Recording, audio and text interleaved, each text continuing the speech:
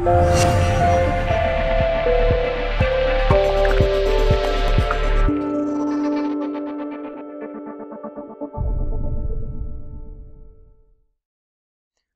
à tous et bienvenue dans ce nouveau tutoriel. Ce que nous allons faire ensemble aujourd'hui, c'est nous pencher sur un nouveau venu dans la suite Substance, j'ai nommé Substance Stager.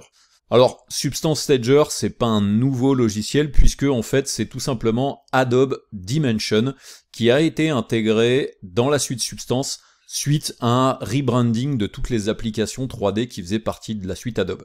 Donc on retrouve toujours dans la suite Substance Substance Painter, Substance Designer, Substance Alchemist est devenu Substance Sampler et Adobe Dimension est devenu donc Substance Stager.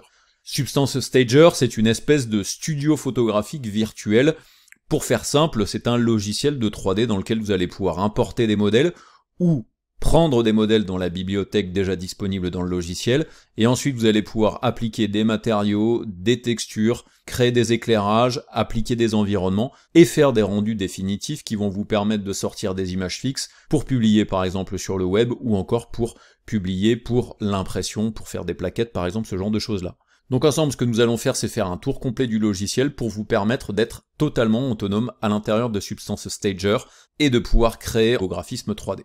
Donc j'espère que ce tutoriel va vous plaire et je vous dis donc à tout de suite à l'intérieur de Substance Stager.